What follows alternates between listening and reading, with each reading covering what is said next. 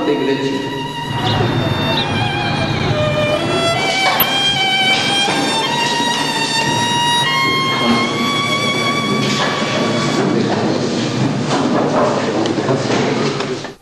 Dios mío, bueno, y ha habido ahí uno sacando fotos. Sí, te quieres sacar en la tele porque eres un héroe de la guerra nuestra. ¿Cómo? Un héroe te llaman. Bueno,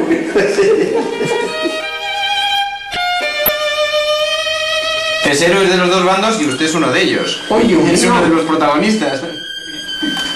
Saramago, este era el ¿El, portugués. el ¿no? Nobel de Literatura? Sí. Sí, sí. A ver, vamos a quitarle el plastiquito porque está sin abrir y todo. Está recién traído de la, de la imprenta. Porque Ay, los están... mío. Estos días los están... Vámonos aquí, ¿verdad? Donde, donde diga. Oye, qué precioso. Se va a ver usted ahí joven con, con Manolo Benítez, con el, El con el cordobés. Ahí, ¿Dónde está la paz? A ver. Al entrar nosotros en Andújar, en el cuartel general, vi todas las fichas de lo de Palma del Río, que es lo que me interesaba más que nada, lo de mi pueblo. Y los cogí, me los traje, me los llevé a mi casa y solamente mi madre y yo lo quemamos en la cocina. Porque aquellos eran, algunos eran soldados nuestros que se habían pasado a...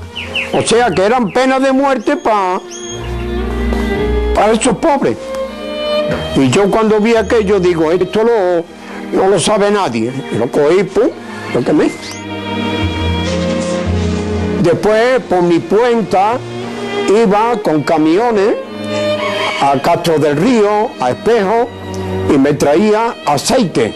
Y mira por dónde la fiscalía se enteró. Y entonces yo le dije, levanten ustedes harta porque no solamente la voy a, a firmar con tinta, sino con sangre de mis venas.